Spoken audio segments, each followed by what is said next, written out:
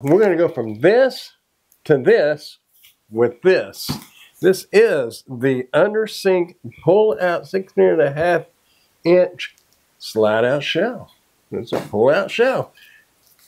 Get this out of the box, get it out here where we can see what we have, and get it put in.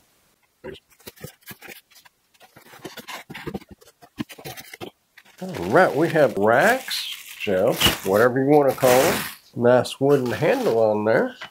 After sale service card. And our template for installing this. Have our owner's manual under sink pull out cabinet organizer with wooden handle. Right, that's what it's going to look like when we get done. Now it says you're going to need a tape measure, an electric drill, which the cordless drill will work as long as you can drill a hole, a screwdriver, a pencil or a marker, and some tape. Mm-hmm, mm-hmm, mm-hmm. Y'all got it? Let's do it. Okay, there's some things to consider when you're putting these rails in.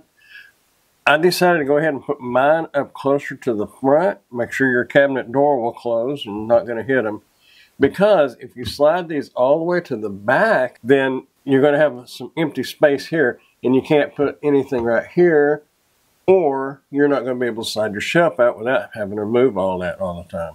Another thing to think about is make sure you have this rail over far enough because you have a lip right here on your cabinet that possibly could hit that slide out shelf if you put it too far that way. So put these in where you need to put them in. So make sure you get these set up the way it's going to fit. Just have to look at it a little bit and think about it and do it how you think would be best. Now, we've got the rails in. Let's put the shelf together and then we will install it on top of our rails. Okay, now that we have the rails put in, we're going to put these two shelves together. One end of this rod is just a short threaded end.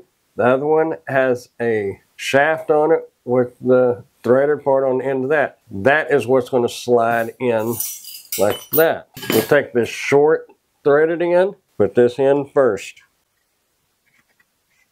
Give me a little tool here. Tighten that up.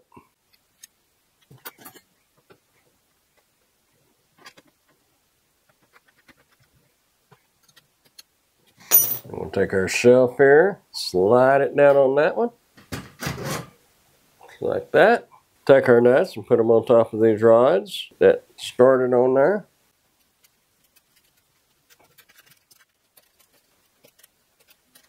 There we have it. It is ready to go on top of the rails now. Now that we have these rails mounted, shelf put together, we can go ahead and slide these rails out a little bit so we can access these screw holes a little bit easier. So we'll just take our shelf and set it on there. Line your holes up, those lined up, and then just put your four screws in there.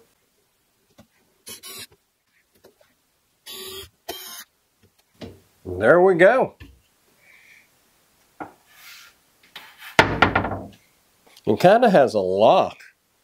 Not because see you kind of had to pull it, but if you push it on back, it kind of locks in where it just won't slide real easy. So slide it out, just like so.